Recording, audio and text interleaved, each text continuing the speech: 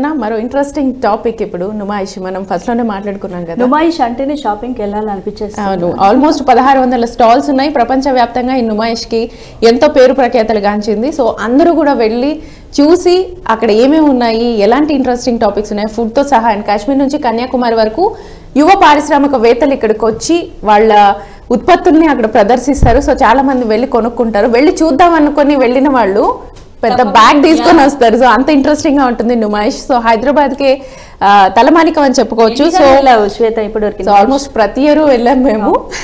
So ఈ two years కానీ ఎవరు కూడా నుమాయిష్ లేకుండా ఉండరు. సో బయట నుంచి కూడా వస్తూ ఉంటారు. సో జనవరిలో అయితే ఉంటుంది. కానీ ఇప్పుడు స్పెషాలిటీ ఏంటి అంటే ఈసారి వ్యాక్సిన్ వ్యాక్సినేషన్ సెంటర్స్ కూడా పెట్టారు. కోవిడ్ నిబంధనలు అయితే అందరూ పాటించండి అని చెప్తారు.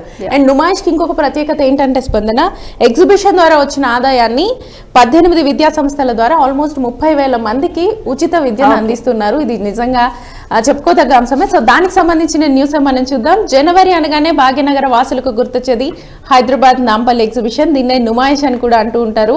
అయితే కరోనా కారణంగా గత రెండేళ్ళుగా నుమాయిష్ ఏర్పాటు చేయలేదు. అయితే ఈసారి జనవరి ఒకటిన ప్రారంభమైంది. అయితే మళ్ళీ కరోనా విజృంభించడంతో జనవరి మూడవ తేదీ నుంచి మూసివేశారు. అయితే కరోనా కేసులు భారీగా తగ్గడంతో ఫిబ్రవరి ఇరవై ఐదు నుంచి నుమాయిష్ తిరిగి ప్రారంభమైంది. నిత్యం వేలాది మంది ప్రజలతో కలకలలాడుతోంది నుమాయిష్. కేంద్ర రాష్ట్ర ప్రభుత్వాల స్టాళ్ళతో పాటు కశ్మీరీ ఉత్పత్తులకు నుమాయిష్ ప్రత్యేకమని చెప్పుకోవచ్చు. నలభై ఆరు రోజుల పాటు జరగనున్న ఈ ఎగ్జిబిషన్లో సుమారు పదహారు వందల స్టాల్స్ కొలుదీరాయని చెప్పొచ్చు. స్పందన. ఎస్ అయితే ఇక శ్వేత దేశంలోనే అతిపెద్ద పారిశ్రామిక వస్తు ప్రదర్శనగా నుమాయిష్కు ప్రత్యేక గుర్తింపు ఉందని చెప్పొచ్చు. దీని చరిత్రను ఒక్కసారి పరిశీలిస్తే నిజాం పాలన కాలంలో పంతొమ్మిది వందల ముప్పై ఎనిమిదిలో వంద స్టాళ్ళతో ఈ ఎగ్జిబిషన్ ప్రారంభమైంది. ఇప్పుడు పంతొమ్మిది వందల నలభై ఆరు వరకు పబ్లిక్ గార్డెన్స్లో నుమాయిష్ అప్పట్లో నిర్వహించారు. అయితే పంతొమ్మిది వందల నలభై ఏడులో దేశానికి స్వాతంత్రం రావడం పంతొమ్మిది వందల నలభై ఎనిమిదిలో హైదరాబాద్ సంస్థానం భారత్లో విలీనం కావడంతో ఈ రెండేళ్ళు నుమాయిష్ ఏర్పాటు చేయలేదు. పంతొమ్మిది వందల నలభై తొమ్మిదిలో అప్పటి గవర్నర్ జనరల్ సి. రాజగోపాలాచారి చేతుల మీదుగా తిరిగి ప్రారంభమైంది. అప్పటి నుంచి ఇప్పటి వరకు విశేషమైన ఆదరణ పొందుతున్న నుమాయిష్ అనే ఎగ్జిబిషన్ పై మరిన్ని అప్డేట్స్ మా ప్రతినిధి అందిస్తారు. నగర నడిబొడ్డున ఉన్న అఖిల భారతీయ పారిశ్రామిక ప్రదర్శన ఆల్ ఇండియన్ ఎగ్జిబిషన్ సెంటర్లో ఉన్నాము. ఇక్కడ ఒక చారిత్రక నేపథ్యం ఉన్న ప్రాంతం ఇది. ఇది పారిశ్రామిక ఉత్పత్తులకు ఒక మార్కెటింగ్ సదుపాయము ప్రజలకు అందుబాటులోకి తెచ్చి ప్రచారంలోకి తేవడానికి ఏర్పాటు చేసినటువంటి అఖిల భారత పారిశ్రామిక ప్రదర్శన ఇది ఇది పంతొమ్మిది వందల ముప్పై ఎనిమిదిలో ఏర్పడింది. అప్పటి నిజాం ప్రభుత్వం ఏర్పాటు చేసిన ఈ చారిత్రాత్మక పారిశ్రామిక ప్రదర్శనశాల నిరాటంకంగా ప్రస్తుతం ఎనభై ఒకటవ ప్రదర్శనను ఇస్తూ ఉంది. అనేక ఆటుపోట్లు వచ్చినప్పటికీ ఇటీవల ఒకసారి అగ్ని ప్రమాదం కావచ్చు మరొకసారి కరోనా ప్రభావం కావచ్చు ఆ రెండు ప్రధాన సంఘటనలు ఈ ప్రదర్శనను చాలా కుదేలు చేశాయని చెప్పుకోవచ్చు. ఈ క్రమంలో మరి ఎలాంటి అధిగమించింది ఆ మా అలాంటి విఘ్నాల నుంచి అలాంటి ఆక ఆటంకాల నుంచి ఈ ఎగ్జిబిషన్ ఎలా ముందుకు సాగుతుంది అనే విషయాన్ని తెలుసుకుందాము. ఇటీవల జనవరిలో ప్రారంభమైన ఎగ్జిబిషన్ కొన్ని రోజులకే ఆగిపోయిన తర్వాత రెండో విడతగా కొనసాగుతూ ఉంది. ఇప్పుడు ఆ వివరాలు తెలుసుకుందాం.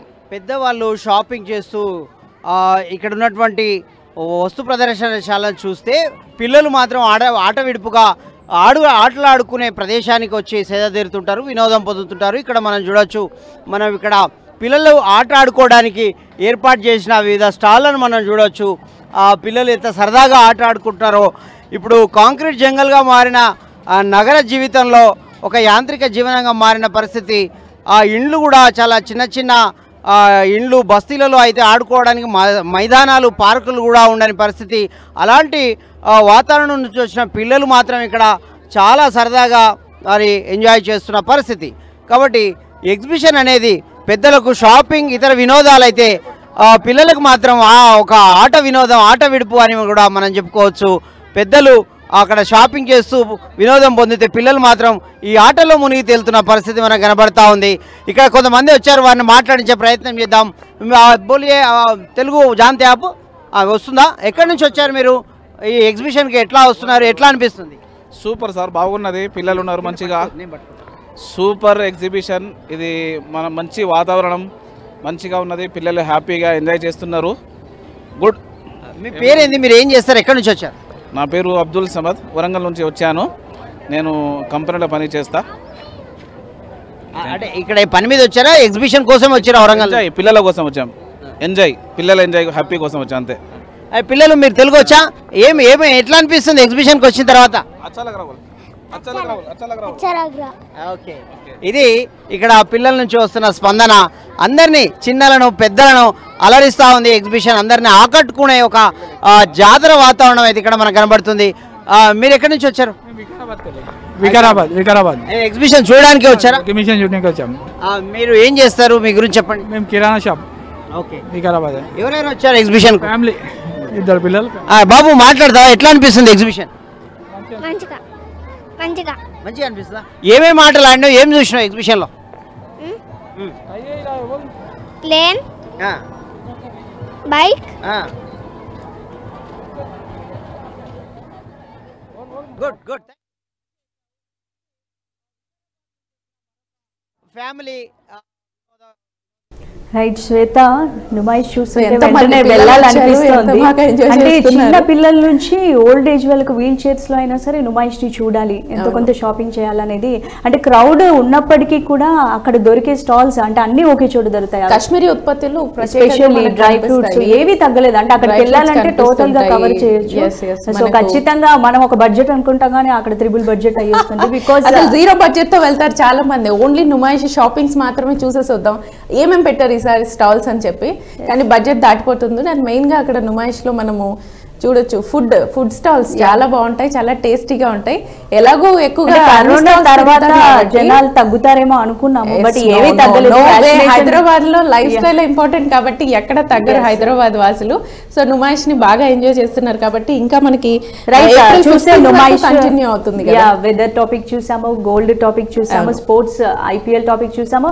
ఈ రోజు అన్ని interesting interesting topics so Hyderabad వాసులకు బాగా ఇంట్రెస్టింగ్ టాపిక్స్ ఇవాళ మనం మాట్లాడడం. Right Shweta so that's all for now ఇది ఇవాల్టి Namaste Bharat this is Spandana keep watching Bharat today